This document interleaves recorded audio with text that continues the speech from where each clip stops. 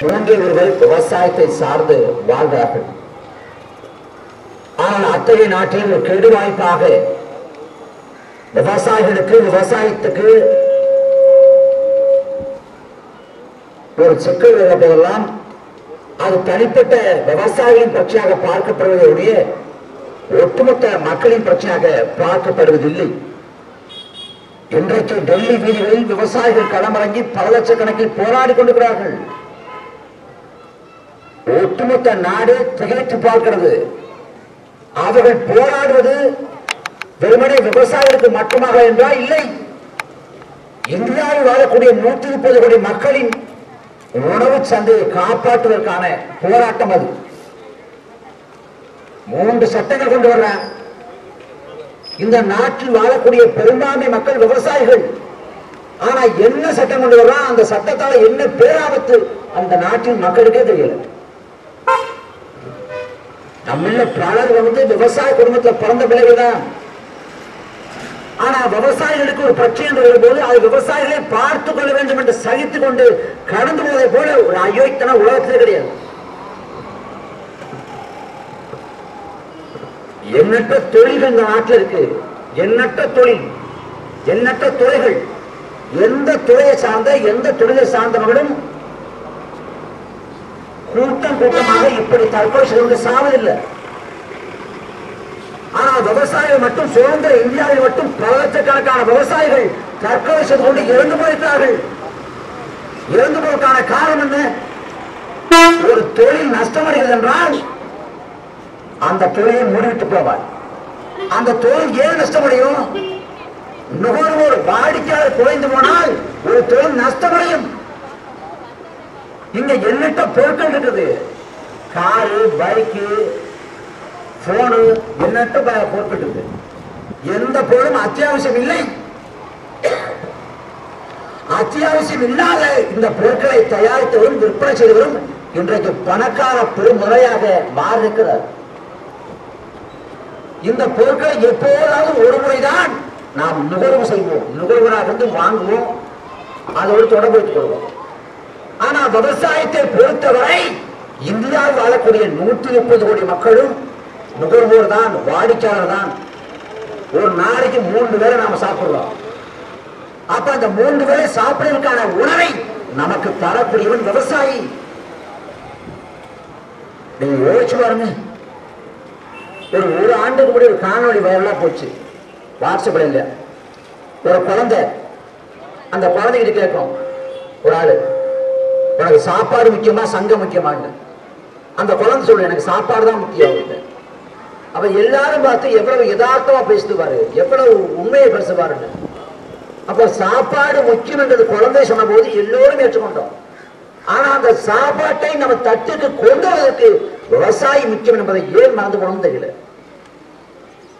ஒரு விவசாயி ரெண்டு விவசாயியா? லட்சக்கணக்கான விவசாயி சாகுறான். ஏன் சாகுறான்? அஞ்சு வருஷம் அஞ்சு வருஷம் ஒருத்தன் ஒரு உணவகம் தான் பணக்காராக மாற முடியுது. பத்து வருஷம் தள்ளுவட்டு கடை போட்டா அவன் பணக்காராக முடியுது. ஒரு பதினஞ்சு வருஷம் ஒரு கூலி வேலை செஞ்சு ஏதாவது ஒரு ஒரு தொழில் தொடங்கினா அவன் முடியுது.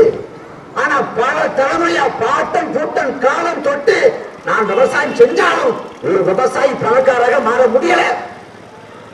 நஷ்டப்பட்டு கஷ்டப்பட்டு வாங்கிய கடனுக்கு வட்டி கட்ட முடியாம வானத்தை இழந்து வாழக்கூடாது என்று தற்கொலை செய்து கொண்டு சாகிறான் விவசாயி. ஆனா அந்த விவசாயி சாக இந்த நாடு எளிமையா கலந்து போகுது. இன்னைக்கு தொலைக்காட்சிகள்ல என்ன முக்கியமான செய்தி? சின்னத்தை நடிகை ஒருத்தங்க தற்கொலை செய்து கொண்டு இறந்து போயிட்டாங்க. நமக்கும் வருத்தம் தான் நாமும் அந்த சாவுக்காக இரங்கல் தெரிவிக்கிறோம். நாமும் வருந்துறோம். ஆனா அதற்கு அளிக்கப்படுற முக்கியத்துவத்தை நாடுதோறும் விவசாய சாகப்ப ஏன் அளிக்கிறேன் அம்மையார் ஜெயலலிதா நோய்வாய்ப்பட்டு மருத்துவமனையில் சேர்க்கப்பட்டாங்க. சேர்க்கப்பட்டு தொண்ணூறு நாட்களுக்கு மேலாக இருந்து இறந்து போனாங்க. ஏறக்குறைய எழுபத்தி நாட்கள்.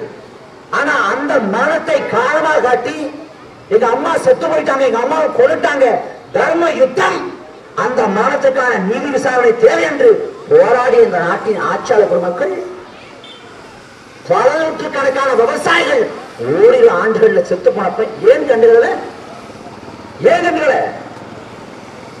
யோசிச்சு சாதாரண விஷயமா இருக்கலாம் நாளை தலைமுறையே வாழாது. அத்தகைய வேலை செய்யறாங்க பாரதி வாழ்றான். தனி ஒரு மனிதனுக்கு உணவில்லை என்றால் செகத்துல அடிச்சுங்கிறான் தனி ஒரு மனுஷனுக்கு. ஆனா இந்தியாவில் வச்சுக்கிற மக்கள் நாற்பது கோடி மக்களுக்கு உணவில்லை இன்றைக்கு வரை ஊட்டச்சத்து குறைபாட்டாலும் குழந்தைகள் இறந்து கொண்டிருக்கு. எந்த நாட்டுல? வல்லரசு வல்லாட்சி இந்தியாவில். இன்னைக்கு டெல்லியில் விவசாயி போராடுறான்னா பல லட்சக்கணக்கான விவசாயிகள் எல்லாம் குடும்பத்தை துறந்து விட்டு குடும்பத்தை விட்டு விட்டு வீட்டை திறந்து விட்டு குடும்ப குடும்பமாக இறங்கி போராடுறான். ஏன் போராடுறான்? வேலை வச்சு தான் போராடுறானா? அவனுக்கு தெரியுது இந்த நாட்டை நாசம் பண்ண போறான் வேளாண் சட்டம் கொண்டு வந்து நம்மள எல்லாரும் இருக்கோம். எல்லாரும் ரேஷன் கடையில பொருள் வாங்கி தான் சாப்பிடுறோம். அந்த ரேஷன் கடையை மூட போறான். உங்களுக்கு தெரியுமா? ரேஷன் கடையை மூடுவதற்கான வேலையை அவன் எப்போதே தொடங்கிட்டான் உலக வர்த்தக கழகம் ஒன்று இருக்கு வேர்ல்ட் ட்ரேட் சென்டர்னு அவன் என்ன சொல்றான்? உணவு மானிய விலையை தராத ரேஷன் மூலமான தராத. உணவு சந்தை இறங்கி கடையில என்ன விலைக்கு அது வருதோ அந்த விலைக்கு வாங்கி சாப்பிடட்டும். வாங்கி சாப்பிட வசதி இருக்கவே வாய்ப்பு இருக்க வாங்கி சாப்பிடட்டும். வாங்கி சாப்பிட வசதி இல்லையா? அவன் வறுமையில் செத்து போனாலும் கவலை இல்லை. நீ உணவு போல சந்தையில் வைங்கிறான். ரேஷன் கடையை மூடுங்க பல வருஷமா சொல்றான். அப்ப ரேஷன் கடையை மூடுவதற்கான ஒரு முன்னகர் தான் இந்த வேளாண் சட்டங்கள். நாம நாள்தோறும் வேலைக்கு போறோம். அன்றாடம் உழைக்கிறோம். ராப்பகலா கஷ்டப்படுறோம் வறுமை போகல ஏழ்மை போகல. கொஞ்சம் காசு நம்மகிட்ட மிச்சப்படுத. கழுத்துல ஒரு பணம் தங்க இல்லை. இந்த வறுமை இந்த ஏழ்மை. நம்ம எவ்வளவு சம்பாதிச்சாலும் அது செலவுக்கே விடும் காரணம் என்ன? விலைவாசி உயர்வு அத்தியாவசிய பொருட்கள் விலை உயர்ந்து கொண்டே இருக்குது. காரணம் என்ன? அரிசி பருப்பு காய்கறி எல்லா விலையும் உயருது நீங்க யோசிச்சு பாருங்க. மூன்று வகை சட்டங்களை கொண்டு வர்றேன். முதல் சட்டம் என்ன? அத்தியாவசிய பொருட்கள் சட்டம். அந்த அத்தியாவசிய பொருட்கள் படி தக்காளி பருப்பு எண்ணெய் வித்துக்கள் உருளைக்கிழங்கு போன்றவை எல்லாம் குறிப்பிட்ட விழுக்காட்டுக்கு மேலாக பதிச்சு வைக்க கூடாது யாரும். ஜெயிச்சு வைக்க கூடாது என்ற சட்டம் இருந்தது. இப்ப அதை திருத்தம் பண்ணி அந்த தக்காளிய அந்த வெங்காயத்தை உலக்கிழங்க எண்ணெய் வித்துக்களை அந்த பருப்பு எடுத்துக்க இனி இந்த உணவுப் பொருட்களை இந்த காய்கறிகளை இந்த உணவு தானியங்களை எவ்வளவு வேண்டுமானாலும் எடுத்து நாம் சேமிச்சு அதை வந்து பதுக்கி வைக்கலாம். ஏற்கனவே விலைவாசி உயர்ந்து கொண்டே இருக்குது. இதை பதுக்கி வைத்தால் இதை விட அதிகப்படியாக விளைவிக்கும் மோடி ஆட்சிக்கு வந்து என்ன சொன்னாரு? ஏழைத்தாயின் பிரதமர் நாட்டியாக போறாரு. எல்லாரும் சொன்னாங்க. மோடி சொன்னார் நான் ஏழைத்தாயின் மகன். வறுமையை உணர்ந்தேன் ஏழ்மையை உணர்ந்தேன் பசியை உணர்ந்தேன் பட்டியை உணர்ந்தேன் சொல்லுவது யார்? நரேந்திர மோடி. அதிகாரத்துக்கு வந்தான். வந்த உடனே பார்த்தா விலைவாசி விழுந்துச்சு ஆனா பாஜக கிட்ட கேட்கிறாங்க என்னங்க நீங்க ஏழைத்தாயின் மகன் சொல்றீங்க? நீங்க ஆட்சிக்கு முன்னாடி ஏழைகளுக்கான ஆட்சியா இல்லையே? எல்லா விலையும் விழுந்து விழுந்துச்சு தக்காளி விலை விழுந்துச்சு எல்லாம் விழுந்துச்சுன்னு கேக்குறப்ப பாஜகவின் துணைத் தலைவர் பிரதாப் சா சொல்றாரு தக்காளி ஏழைகளுக்கான உணவு இல்லை. அது பணக்காரர்களுக்கும் சிவப்பு கண்ணம் கொள்வதற்கான உணவு யாரு? பாஜக சொந்த பிரமுகம் அப்படி எல்லா பொருட்களும் இனி விலை உயரும். அப்புறம் ஒரு சட்டம் கொண்டு வர்றேன் கார்பரேட் கம்பெனிக்காரனோட விவசாயி வந்து ஒப்பந்தம் போட்டுக்கலாம். அப்படி ஒப்பந்தம் போட்டுக்கிட்டு பயிர் செய்ய தொடங்குவதற்கு முன்பாக சாகுபடி தொடங்குவதற்கு முன்பாக விலை சொல்லுவான். ஒரு தக்காளியா இவ்வளவு விலை தர்றேன். ஒரு கருப்பா பருப்பா இவ்வளவு விலை தர்றேன். ஒரு அரிசியா இவ்வளவு விலை தர்றேன்னு முடிய விலை சொல்லுவான். அப்ப என்ன சொல்றான்? சந்தையில விலை கிடைக்கலாம் கூட உங்களுக்கு உரிய விலை கிடைக்கும். அப்ப சிக்கல் இல்லைங்கிறான் இங்கதான் வச்சிருக்கோம் சூச்சகம். அந்த தனிப்பட்ட முதலாளி கார்பரேட் கம்பெனிக்காக கேட்கிற தரத்தையும் உங்களால் குடிக்க கொடுக்க முடியவில்லை என்றால் அவன் காசை குறைச்சுவான் தீஸ்த வாரியம்னு ஒன்று இருக்கு அங்க போய் நீங்க முறையிடலாம் யாரை விட்டு ஒரு கார்பரேட் கம்பெனிக்காரன் விட்டு விவசாயி போய் நடத்தணும் மத்தியஸ்த வாரியத்துக்கிட்ட அங்க போய் நீதி கிடைக்கலையா? வட்டாட்சிட்டு போகணும். அங்க நீதி கிடைக்கலையா? மாவட்ட ஆட்சிட்டு போகணும். வட்டாட்சியர் மாவட்ட ஆட்சியர்லாம் நல்லா இருந்தா நாடு எப்படி கேட்கல இருக்குது? எந்த மாவட்ட ஆட்சியர் பன்னாட்டு முதலாளியை எடுத்து சண்டை போட்டு பேசிய ஒரு மாவட்ட ஆட்சியர் நாட்டுல சகாயத்தை தவிர. யார் இருக்கா? நான் கார்பரேட் கம்பெனிக்காரனை எதிர்த்து போய் மட்டாட்சி மாவட்ட மாவட்ட ஆட்சியும் போடணும்? எவ்வளவு கொடுமை? நான் கார்பரேட் கம்பெனிக்கார ஒப்பந்தம் போட்டு என்ன ஆகும்? குறைந்தபட்சமாக விவசாயத்துல இருந்தால் தற்சார்பு தன்மையை நான் நிரப்பேன். உலக சந்தைக்கு தக்காளி தேவைப்படுதா தக்காளி சார்ஜ் விற்பனை ஆகுதா தக்காளி சார்ஜ் விற்பனை ஆகுதா உலக சந்தைக்காக அவன் தக்காளியை பயிர் செய்யுமா உலக சந்தைக்கு சிப்ஸ் தேவைப்படுதா? அவன் அதுக்காக உலகிழங்க பயிர் செய்யுமா? அரிசியை பயிர் செய்யாதம்மா? கோதுமையை பயிர் செய்யாதம்மா? அப்ப என்ன விளைவிக்கணும் அதை எப்படி விளைவிக்கணும் ரசாயன உரம் போட்டா இயற்கை உரம் போட்டா அது எத்தனை விழுக்க எத்தனை விழுக்காடு நிலத்துல? எல்லாத்தையும் அவனே தீர்மானிப்பான். ஒரு நாடு தன் உணவு உணவில் தற்சார்பை இழந்து விட்டால் அந்த நாட்டின் இறையாமை பறிபோகும் இன்னும் ஒரு சில ஆண்டுகள்ல இந்தியாவோட மக்கள் தொகை சீனாவை விட அதிகப்படியாக மாறும்னா? இந்தியாவின் மக்கள் தொகை சீனாவை விட அதிகப்படியாக உயர்ந்தால் இந்தியாவில் 150 கோடிக்கு மேலான மக்கள் வசிப்பார்கள். அப்படி 150 கோடிக்கு மேலான மக்கள் வசிக்கிற போது அந்த மக்களின் உணவு தேவைக்கு இந்தியா என்ன செய்ய போகுது? உணவு தேவையை இந்தியா தடைப்பட்டானா இங்க பசி பஞ்சம் வறுமை எதுவும் இல்லையா? இருக்கு. ஆனா அதை பத்தி எந்த கவலையும் இல்லை. எந்த கவலையும் இல்லை. சீனாவிலிருந்து சீன நாட்டு அதிபர் வர்றாரு சென்னைக்கு. என்ன பண்றான்? மாமல்லபுரத்தையே வச்சுட்டான். சீன அதிபர்.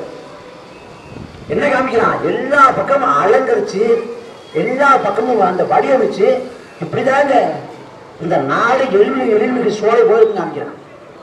அந்த சீன அதிபரை கொஞ்சம் தண்டையப்பட்ட பக்கம் கூட்டு போய் கூவம் பக்கம் கூட்டு போய் கூவத்தை விட ஒரு மானன் ஆயிடும். குஜராத்ல வர்றான் ஒரு வெளிநாட்டை சேர்ந்த ஒரு ஒரு ஆளு ஒரு தலைவர். வர பண்ண பண்றான் அங்க குடிசையில சுவர் எழுப்பி மறைக்கிறான். இந்த மோடி நாட்டை வளர்ச்சி பாதையை புரிந்து போறான்? வெக்கம் கட்டி மானம் கட்டி இந்த நிலத்துல இன்னும் பாஜக சொல்லிட்டுற பாஜக செஞ்ச ஒரு சாதனை உண்டா? ஒரு சாதனை. இந்துக்களை ஓடாடி வாருங்கள். முழக்கப்படுவது யாரு? பாஜக பாஜக அன்னைக்கு காலையில தண்ணி மறுத்தாததால மறுத்ததால வாழ முடியாம நிலம் வாடியதால பயிர் வாடியதால உயிர் வாடி போய் இறந்து போன விவசாயி எல்லாம் இந்துதானே? அந்த இந்துக்கள் செத்தமாக எந்த பொந்தை இருந்துச்சு பாஜக எங்க இருந்துச்சு? நமக்கா போனா கஜா புயல பாதிக்கப்பட்டு வாதாடி நின்ற போது மோடி வந்து பார்த்தாரா? வந்தார மோடி வேதாரத்துக்கு வேதனை சொல்லு ஆளு. பாஜகவுக்கு போறாரு. அவரை எப்படியாவது வெள்ள வச்சலாங்கிறதுக்காக நாட்டின் பிரதமர் நரேந்திர மோடியை கடை கோடி வேதாரத்துக்கு வர வச்சான். இது உள்ளாரு மோடி வந்து பேசாரு புண்ணிய புண்ணியான வேதாரம் நடத்த அவன் கால் பதிக்கல பெருமை கொள்றேன். நான் முதல் பிரதமர் இந்தியாவின் முதல் பிரதமர் இந்த புண்ணிய பூமியில கால் வச்ச முதல் பிரதமர் அந்த புண்ணிய பூமி வேதாரியம் ஒட்டுமொத்தமாக கஜா புயலால அழிந்து அழிவு விரும்புகின்ற போது மோடி ஏறுவாங்க அமித்ஷா ஏறுவாங்க அன்னைக்கு ஓட்டு தேவைப்படுச்சு வந்து இன்னைக்கு ஓட்டு இல்ல. தேவை முடிஞ்சு போச்சு வரல. எவ்வளவு கொடுமை.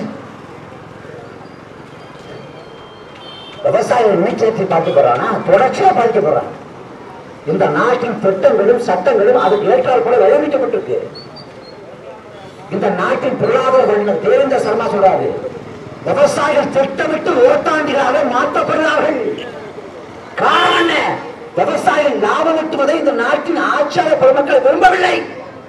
விவசாயிகள் நஷ்டப்படுற வகையில் இந்த நாட்டின் பொறியியல் கொள்கையும் நாட்டின் கொள்கையும் வடிவமைத்து அளிக்கிறார்கள். ஒருபோதும் விவசாயிகள் லாபம் அடைய விட மாட்டாங்க. அப்ப திட்டமிட்டு வேலை செய்யலாம் என்ன சொல்றான் இந்த வேளாண் சட்டங்கள்ல. ஒரு வாய்ப்பு தரோம் நீங்க தஞ்சாவூர்ல இருந்து எந்த ஒரு நாளும் நீங்க விளைவிச்ச உணவு தானியத்தை நெல்லை கோதுமையை வந்து நீங்க வித்துக்கலாம் தஞ்சாவூரை நெல்லை விளைவிச்சு அவன் என்ன போய் ராஜஸ்தான் வைக்க போறானா? சட்டீஸ்வர் வைக்க போறானா? ஜார்க்கண்ட் வைக்க போறானா? அவன் தாலுக்காவிட்ட தாண்ட கிடையாது. அவன் என்ன சொல்றான்? எங்க போனாலும் வித்துக்கலாம்னு. எப்படி முடியும்? எப்படி சாத்தியம்? அவன் எதற்கான வேலை? அம்பானி அதானி போன்ற தனிப்பெரும் முதலாளிகள் அந்த முதலாளிகள்கிட்ட இந்தியாவின் உணவு சந்தை. நூத்தி முப்பது கோடி மக்களும் உண்ணக்கூடிய அந்த உணவை அந்த உணவு சந்தையே கொடுக்க போறாங்க. பாஜகவின் திட்டம் என்ன? எல்லாத்தையும் ஒரே மயமாத்துவான் ஒரே நாடு ஒரே மக்கள் ஒரே சட்டம் ஒரே கலாச்சாரம் ஒரே நதி திருப்பாயம் ஒரே ராணுவ தளபதி ஒரே தேர்தல் ஒரே தேர்வு ஒரே வரி ஒரே கல்வி கொள்கை எல்லாத்தையும் ஒற்றுமைப்படுத்தும் அதன் நீட்சியாக இந்தியா முழுக்க ஒரே உணவு சந்தை கொண்டு வரப்படுறாங்க எவ்வளவு கொடுமை பாருங்க. எல்லாத்தையும் ஒற்றுமைப்படுத்தானே பாஜக அரசு. ஏன் சாதிகளை மட்டும் நாற்பது சாதி இருக்குது? ஒரே சாதியா மாத்துறேன். கோயிலுக்குள்ள போராடணும் ஒரே சாதி. பறை அடிச்சு வாழ்க்கையில் ஜீவனம் ஒரே சாதி மாத்திட்டு. ஏமாத்த பண்ணுகிற ஏமாத்ததில்ல. என்னத்த பிரச்சனை நாடு முழுக்க இருக்கு? இந்த பாஜக வேலையாத்தனும் போனோம். நாங்க முருகனை தூக்கி பிடிக்கிறோம் முருகனை முந்தாதான் பிறந்தாரா என்ன திடீர்னு முருகனை பாச வருது? பாஜக வேலை என்ன? ராமத்தில் ஊருக்கு போனா நடிச்சுட்டு எனக்குமா கேரளாவுக்கு போனா சாமியே சாமி வைப்பாங்க உடுப்பிக்கு போனா ஜெய் ஸ்ரீராம்ங்கிறது. மகாராஷ்டிரா போனா கணவன் பாப்பா கோழியாங்கிறது தமிழ்நாட்டுக்கு வந்தா வெற்றி இருக்கிறது அயோக்கியத்தனம். என்ன பண்றான் அவனுக்கு தொழில் வச்சு தமிழ்நாட்டுல பாஜக ஒரு கதையை அகாந்து தெரிஞ்சு போச்சு. அவன் என்ன பண்றான் உடம்பு முடியாம கிடத்துக்கிற ஒரு நோயாளியை கொண்டாந்து திரிக்கிறான் ஐயா ரஜினிகாந்த். ஒரு முகம் கோவம் வந்துச்சு. ஐயா ரஜினிகாந்த் மேல. உண்மையிலே பாவம். அவரை கொல்ல போனான். பாஜக ரஜினிகாந்த கொல்ல நடக்குதா இல்லையா பாருங்க. அவர் சொல்றாரு சேதா சந்திப்புல கட்சி தொடங்குற விழாவை இப்படி யாராவது எதிர்மறையா பேசுவாங்களா? ரஜினிகாந்த் பேசாரு என் உயிரே போனாலும் சரி நான் நிற்பேன் என்ன சினிமா டைரக்டர் சத்தியமா உண்மை. அவர் சொல்றாரு எனக்கு இதயம் எனக்கு சிறுநீரக மாற்ற அறுவை சிகிச்சை பண்ணிருக்கு எனக்கு வந்து உடம்புல வந்து நோய் எதிர்ப்பு சக்தியை குறைச்சிட்டாங்க குறைச்சுதான் அந்த சிறுநீரக மாற்று சிகிச்சையை செய்ய முடியும். குறைச்சிட்டாங்க. நான் வெளியே வரக்கூடாது. கொரோனா காலத்தை வெளியே வரக்கூடாது. அப்படின்னு சொல்றாரு. அப்பேற்பட்ட ஆளை பிடிச்சி தொங்கு தொங்கு தொங்கி பிடிச்சி தள்ளி அவர் வந்து நாட்டில் போச்சு வெடிச்சிடும் அவர் வந்துட்டு நாட்டில் எல்லாம் சரியாகும் சொல்லிட்டு பாஜக வந்து ரஜினிகாந்த் வைக்கிறான் கமலஹாசன் ஒருத்தர் ரஜினிகாந்த் வச்சான். அது என்ன பண்ணவும் தெரியல. ரஜினிகாந்த் ஒருத்தர். இப்ப ரஜினிகாந்த் கமலஹாசன் வந்துட்டா நாட்டில் பாலாறு திருநாறு கரை கொண்டு வருமா என்ன கூத்தா இருக்கு? நம்ம நிலத்தை நான் கோனார் நான் மொழியாரு நான் ஆண்ட சாதி பண்ணு. ஆண்ட சாதின்னு சொல்லிட்டு சிலையை உடைச்சல உன் மண்ணுக்கு சாராத வரானடா என்ன பண்ண போற? ரோசம் இருக்கா? வானம் இருக்கா? ஆண்ட சாதின்னு சொல்லிட்டு சிலையை உடைச்ச இன்னைக்கு சம்பந்தமே இல்லாம மராட்டிய ஒருத்த வந்து மருதுபாண்டியரை கொண்டாடி நிலத்தில் அவன் மராட்டிய சிவாஜி சொல்லிட்டு வரான். ரோசம் இல்ல மானம் இல்ல. வெட்கம் அமைதியை கடந்துள்ளது இந்த மண்ணின் மகன் எவன் வந்தாலும் சாதி அளிக்கிறது யார் வந்தாலும் சாதி இருக்கிறது. இவர் என்ன சாதியா இருப்பாருன்னு. உலகில் நோய். ஆனா மராத்தி ரஜினிகாந்த் வந்து ஒட்டுமொத்த தமிழையும் ஆடலாம் இத போல கொடுமை உண்டா இந்த ஊடகங்கள் இருக்காங்க பாருங்க ஊடகங்கள். ஐயோ ஊடக ஜனதாக துணியளவும் கிடையாது. நாம் தமிழர் கட்சி ஊடகங்களை விவாதத்துக்கு விட்டா ரஜினிகாந்த் ஏதாவது பண்ணிடணும். அப்பதான் கொடுக்குறாங்க நம்ம காலையில செய்தி பார்க்கலாம் ரஜினிகாந்த் ஆட்டோ போனா கொடுத்துருவாங்க எனக்கு நியாயம். செய்தி கொடுப்பாங்க நாட்டுல நாம போராடுறோம். தொண்டை தண்ணி வத்த வத்த அறிவர் வடிச்ச விட போராடுறோம். கத்துறோம் கூக்கல் விடுறோம் மக்களுக்காக பேசுறோம் மக்கள் மனத்தை பேசுறோம். பேச கொடுப்போம் மாறாது. ஆனா என்ன பண்ணாங்க ரஜினிகாந்த் ஆட்டோவில் போனா. ஆட்டோவில் தான் போனார்? பாடையில் போடல ஆட்டோவில் போறாரு? கையை அசைத்தான். காலை மறைக்கிறான் இதெல்லாம் நாட்கள் செய்தி. நம்ம எவ்வளவு கேளப்பு அடைக்கிறான் பாருங்க. ரஜினிகாந்த் மிக எளிமையானவர் எப்படி சொல்றீங்க? அவருக்கு வந்த இவரை அவரை உண்கிறார். அவருக்கு வந்த தும்மலை அவரை துண்கிறார் அவருக்காக நடக்கிறார். அவர் கையால் சாப்பிடுறார். ரொம்ப எளிமையானவர் ஏன் தமிழ் மக்கள் மான தமிழ் மக்கள் பார்த்துக்கிட்டு சகிச்சுக்கிட்டு நடிகை நடிச்சாரு பணம் சம்பாதிச்சாரு கோடிகளை குவிச்சாரு. அவ்வளவுதானே? அவ்வளவுதானே? அவருக்கு இந்த நிலத்துக்கு சம்மந்தம் இருக்கா? ஏதாவது சம்மந்தம் இருக்கா? ஏதாவது பிரச்சனை வந்திருக்காரா கஜா புயல பாதிக்கப்பட்டு நம்ம கடந்தப்ப ரஜினிகாந்த் கேட்டாங்க. ஐயா கஜா புயல பாதிக்கப்பட்டு கிடக்குது ஐயா அது போடலான்னு நான் கட்டடங்களையே எப்ப கட்சி எப்ப பார்க்க வர்றது? இப்பயும் ஒரு கட்சி தொடங்க கட்சி தொடங்க முயற்சி இல்லை.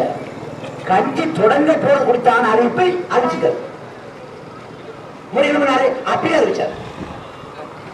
உலகத்துல இப்படியெல்லாம் ஒரு கூத்து எங்கேயாவது நடக்குமா? இருபத்தஞ்சு வருஷமா அங்க இருபத்தஞ்சு வருஷமா? எனக்கு ரெண்டு வயசு தொண்ணூத்தி ரெண்டுல. எனக்கு இருபத்தொன்பது வயசு இன்னைக்கு. ரெண்டு வயசான காலத்துல ரஜினிகாந்த் அரசுக்கு வருவாரான்னு வாத ஆரம்பிச்சிச்சு. இருபத்தொன்பது வயசாயிடுச்சு. இன்னைக்கும் வாத ரஜினிகாந்த் அரசுக்கு வருவாரா? இப்போதாவது வந்து விடுவாரா? தொடங்கி விடுவாரா? தொலைந்தா என்னதான் பண்ண போறாரு? பக்கத்துல கேளா இருக்குது. அங்கிட்டு மம்முட்டிக்கு மோகன்லாலுக்கு இணையாக விஜய்க்கு ரசிகர்கள் உண்டு. கேரளாவில் விஜயை கொண்டாடுமா படத்துல? ஆனா அதே விஜய் அங்க போயிட்டு நான் சர்க்கார் வச்சு போறேன்னு போனா எந்த ரசிகன் கொண்டாடினானோ அவன் துரத்து அடிச்சிடலாம் ஏன்? மலையாளி தெரியும். நமக்கு பின்பாக முன்னூறு ஆண்டுக்கு முடி பிறந்த மலையாளி தெரியும். நடிகர் வேறு தலைவர் வேறு. அவனுக்கு வித்தியாசம் தெரியும். உனக்கு தெரியாது. உனக்கு துறைக்குள்ள நாலு ஆட்டம் போட்டு குத்தாட்டம் போட்டு அங்க பஞ்சாயத்து பேசிட்டா உனக்கு வீரன். என்ன பெரிய வீரன் என்ன பெரிய வீரன் அப்படின்னா தமிழ் சினிமாவில் நாற்பது வருஷமா சண்டை போடுறான். எம்ஜிஆர் காலம் தொட்டு இன்னைக்கு வரைக்கும் சண்டை போடுறான் விஜய் காலம் வரைக்கும். இவனால ஒரே நாட்டில் பத்து பேர் அடிக்கானா ஒவ்வொரு நாள் வர்ற ஒவ்வொருத்தர் அடிச்சிருக்கேன் எந்த பெரிய நடிகராக இருந்தாலும் வீட்டுக்கு ஒரு ஒரு சின்ன அச்சுறுத்தல் விட்டா கூட காவல்துறை தான் கூப்பிடுறேன். ரஜினிகாந்த் என்ன சொல்றாரு? வன்மை வன்மையும் போகாதீங்க. வன்மை எதுக்கு தூணாகாது புத்தரோட மறுபிறப்பு. இப்ப நாம என்ன சொல்றோம்? அடுத்த படம் அண்ணாத்தே. அந்த அண்ணாத்தை படத்தை எப்படி வில்லன்னு ஒருத்தர் வச்சிருப்பீங்க நீங்க என்ன பண்றீங்க? வில்லன் போய் சண்டை போடக்கூடாது. வெளில வந்தா கப்பல் கால விழுந்துங்க அண்ணே என்ன விட்டுன்னு கால விழுந்துங்க மனமுறை பேசுங்க கண்ணீர் விடுங்க. உங்க கண்ணீரால அவன் பாத கமலத்தை கழுவுங்க. அவன் மனம் முறை செய்யுங்க. மனமுறை செஞ்சு இவனை திருத்திங்க உங்களாக்குங்க படம் பாப்பா வரும் வருமா அடிச்சா திருப்பி அடிச்சீங்களே படத்துக்குள்ள?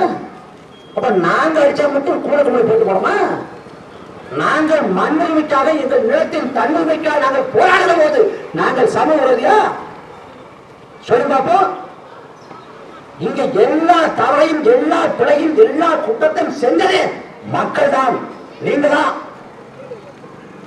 இது மக்களாட்சி.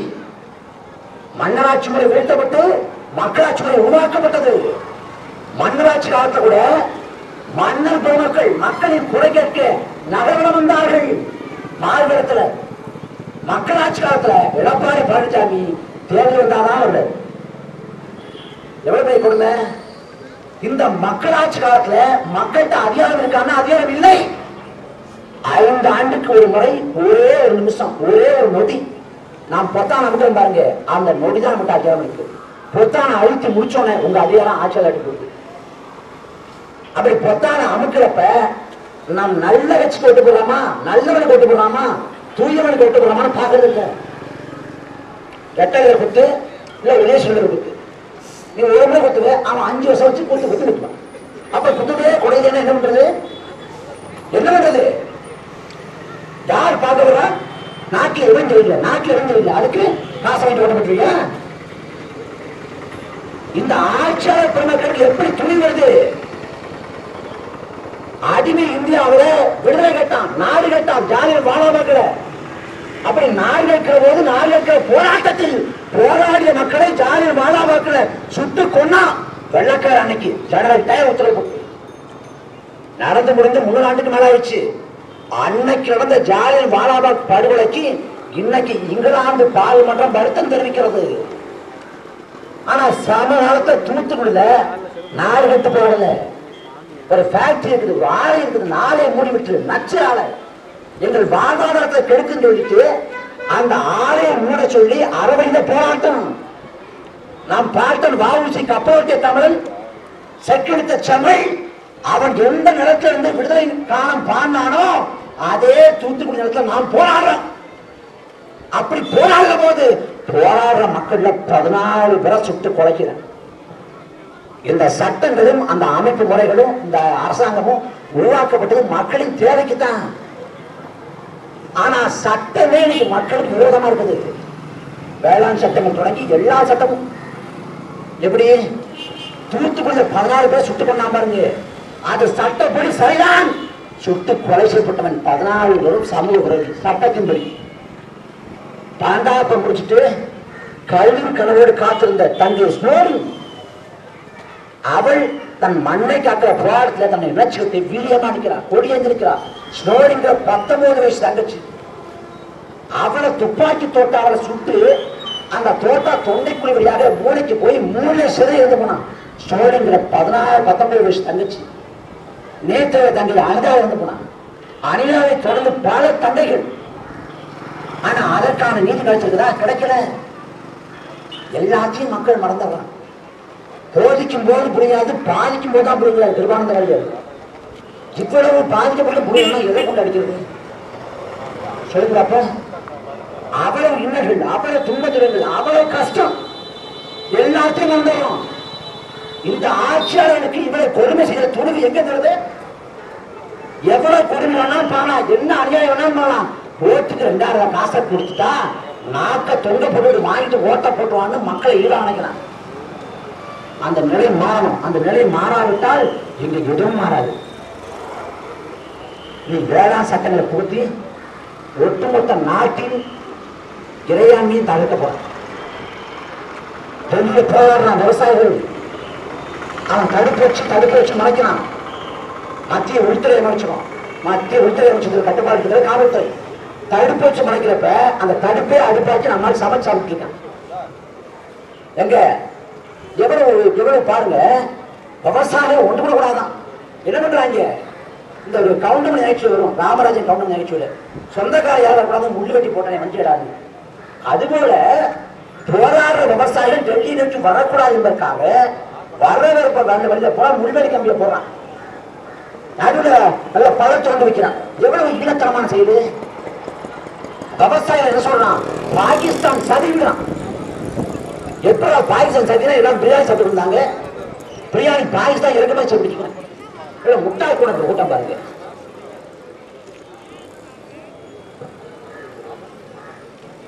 இதுல கனடாட்டின் அதிபர் கனடான்ற ஒரு நாடு அந்த நாட்டின் அதிபர் அவர் சொல்றாரு விவசாயிகளுக்கு போராட்டத்துல தார்மீகமான ஆதரவு நான் வழங்குறது உடனே வந்து கனடாட்டு அதிபர் எப்படி இந்தியாவில் உள்நாட்டு விவகாரங்கள்ல தலையிடுவான் யாரு? தேசபக்தர்கள்.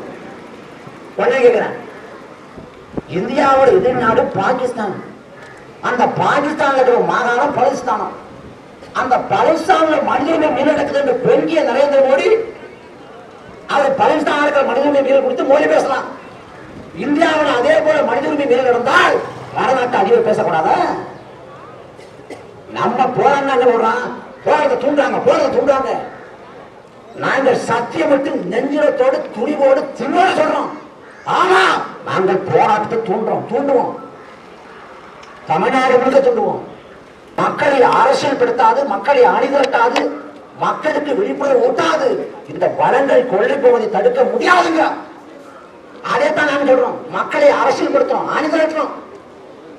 நைஜீரிய போராளி கென்சரா விவா சொல்றான் மக்களை காக்கும் இந்த போராட்டத்தில் நாம் வென்றாக வேண்டும். ஏனென்றால் தப்பித்து போவதற்கு வேறு நிலமில்லை. இல்லை என்றால் கொல்ல போவதில்லை. அப்படி நிலத்தை காக்கிற இந்த மண்ணுரிமை இந்த தன்னுரிமை போராட்டத்தில் நாங்கள் வீரியமா காத்து நிற்கிறோம் ஒருபோதும் பின்னாங்க மாட்டோம். ஒருபோதும் இவன் போராடுறவன் கூட தேச துரோகிங்கிற பாஜக எதுக்காக போட்டிருக்கான் எதுக்காக போட்டிருக்கான் காஷ்மீர்ல ஒரு ஆறு வயது குழந்தை ஏறக்குறைய ஒரு ஆறு வயது குழந்தை. ஆசுபாங்கிற பச்சிளம் குழந்தை. அந்த ஆசுபாங்கிற பச்சிளம் குழந்தையை கோயிலின் கருவறைக்குள்ள வைத்து ஐந்துக்கும் மேற்பட்டவன் கூட்டி பாலிய வன்கொடுமை செய்து அவனுக்கு போதை மருந்து கொடுத்து அவர் கையை உடைச்சு காலை உடைச்சு முதுகெலும்பை உடைச்சு நோக்கி போட்டான் இந்துத்துவ பயங்கரவாதி. அப்படி அந்த ஆஷ்வாங்க பெண் குழந்தை எவன் பாலி வன்முறை செஞ்சு சேர்த்து போட்டு கொலை செஞ்சானோ அந்த கொலையாளிகளுக்கு ஆதரவாக இந்தியாவின் தேசிய கொடி எடுத்து எடுத்து போராடிய தேச தோஷிகள் இந்த பாஜக. உத்தரப்பிரதேசத்துல மனுஷா வாழ்க்கையில் இருக்குன்னு பாலிய வன்கொடுமைக்கு ஆளாக்கப்படுறார் அப்படி ஆளாக்கப்பட்டவன் உடலை கொண்டு போய் அந்த குடும்பத்துக்கே தராம அந்த மாநிலத்தின் காவல்துறையை கொண்டு அவசர அவசரமா கொண்டு இருக்கிறான் பாஜக பொறுத்த வரைக்கும் பாஜக பொறுத்த வரைக்கும் பாரத் மாதாக்கு ஜெயில் முழக்க முடியும் பாரத நேரம் தான் அவளையும் கற்பழிச்சு கொண்டு அப்பேற்பட்ட ஈழத்தனமான எந்த கொள்கையும் எந்த கோட்பாடும் மக்கள் நலம் சார்ந்தா இருக்காது. மக்களை பிரித்தாடுவது மதத்தால் துண்டாடுவது கலவரத்தை உருவாக்குவது அண்டாப்பியரை சொல்வது இவ்வளவு இனத்தமான வேலையும் இந்த பாஜக தான் செய்யும் அப்ப இன்றைக்கு இந்த ஜனநாயக மீட்பு போர்ல மண்ணுமை களத்துல நாம் அயராது இருக்க வேண்டிய ஒரு வரலாற்று தேவை உருவாயிருக்கிறது இந்த போராட்டம் வென்றே ஆக வேண்டும். நமக்கு புறையாக ஒரு தலைமுறை வாழ இருக்கிறது. அவர்கள் வாழ்வுக்கு ஏற்ற இந்த நிலம் இல்லை. நீங்க சொல்லிச்சு பாருங்களே. காவிரியில தண்ணி கட்ட போராடுறோம். நேற்று இல்லைங்க முப்பது ஆண்டா போராடுறோம். முப்பது ஆண்டா. என்னை போன்ற பிள்ளைகள் பிறப்பிற்கு இருந்து அறப்போராட்டம் சட்ட போராட்டம் பல்வேறு ஜனநாயகங்களுக்கான போராட்டங்கள் எடுத்து காது உரிமைக்காக போராடி கொண்டிருக்கோம். ஆனா காங்கிரஸ் வந்துட்டா கொடுத்துட்டானா? மத்திய காங்கிரஸ் வந்தாலும் சரி பாஜக வந்தாலும் சரி மாநில திமுக வந்தாலும் சரி அதிமுக வந்தாலும் சரி எந்த கட்சி ஆட்சிக்கு வந்தாலும் காவிரியில தண்ணி வராது. ஆனா தமிழ்நாட்டுல இருந்து வனக்கொள்ள நடக்கும். தமிழ்நாட்டுக்கு சொத்தையும் தர முடியாது. மறுக்குது. கர்நாடகா. மேல்நாட்டின் குறுக்கே அணுகட்டும் சொல்றது கர்நாடகா. ஆந்திராவா பாலாற்றின் குறுக்கே அடுக்கடுக்காக தடுப்பணை கட்டி அந்த தடுப்பணையின் உயரத்தை அதிகப்படுத்தலாம்.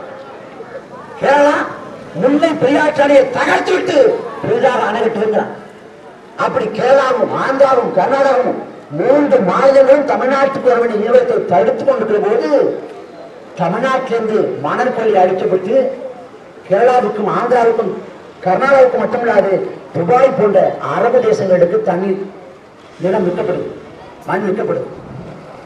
இந்த கொடுமையான வாய்ப்பு ஒன்றே தான் இருக்கு. இந்த திமுகவோ இந்த அதிமுகவோ இந்த காங்கிரஸோ இந்த பாஜகவோ ஒருபோதும் மக்கள் எனக்கு உண்மையா இருக்காது. ரெண்டாயிரம் ஆண்டுகள் தமிழ் சமூகம். அந்த ரெண்டாயிரம் ஆண்டுகாலத்துல எண்ணற்ற போர்கள் எண்ணற்ற படையெடுப்புகள் எண்ணற்ற சண்டைகள் எண்ணற்ற சச்சரவுகள் எண்ணற்ற வன்முறைகள் எண்ணற்ற தாக்குதல்கள் வாதாபி இணைக்கப்பட்டது உறைவு இணைக்கப்பட்டது மதுரை இணைக்கப்பட்டது புத்த மனங்கள் தொடுக்கப்பட்டது கோயில்கள் நிறுத்தப்பட்டுச்சு தேவாலயம் நிறுத்தப்பட்டுச்சு ஆனா இந்த ரெண்டாயிரம் ஆண்டு காலத்தில் ஒரு ஏரியை ஆக்கிரமிக்கல ஒரு குளத்தை ஆக்கிரமிக்கல ஒரு மனக்கொலை அடிக்கல ஒரு ஆத்தை தகர்க்கல. ஆற்றுல மனக்கொலை அடிச்சு போகல ஒரு மலையை தகர்க்கல. இயற்கை வளங்களை அப்படியே சேமித்து தக்க வச்சிருந்தான் அப்படி இரண்டாயிரம் ஆண்டுகளாக பாதுகாத்து வைக்கப்பட்ட இயற்கையின் பெட்டர்களா இருந்த இந்த மண்ணின் வளங்களை ஐம்பது ஆண்டுகள் ஆண்டு கொடுக்கிற ஆட்சியாளர் பெருமக்கள் ஒட்டுமொத்தமாக சுரண்டி கொடுத்திருக்கிறார்கள் நாம் உணர்ந்து கொள்ள வேண்டிய ஒன்றே ஒன்றுதான்.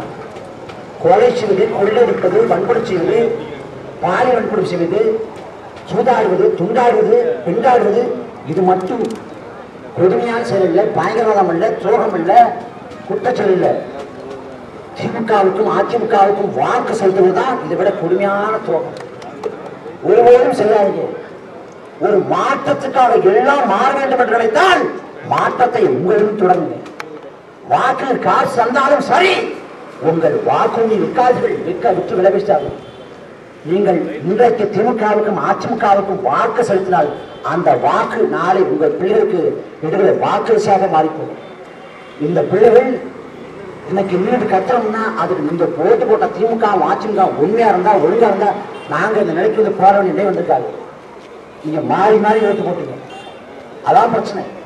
இளைய தலைவர் கூட்டம் சிந்திக்கிறோம் விஜய் பிரவர் தான் அஜித் பிரவர் தான் படம் குடித்தான தகவல்களை தேடுறோம். அப்டேட் கேட்கிறோம். அஜித் படம் என்ன? வலிமை படத்தோட அப்டேட் எங்க? மாஸ்டர் படத்தோட ட்ரெய்லர் கேட்கணும். அதே போல நீங்கள் நாட்டில் சட்டம் வருதா? திட்டம் வருதா? அந்த சட்டங்களை பகுத்தாய்வு பண்ணுங்க திறனாய்வு பண்ணுங்க படிங்க தேடி படிங்க. என்ன பிரச்சனை? தெரிஞ்சுக்குங்க. நாலு பேர் சொல்லுங்க.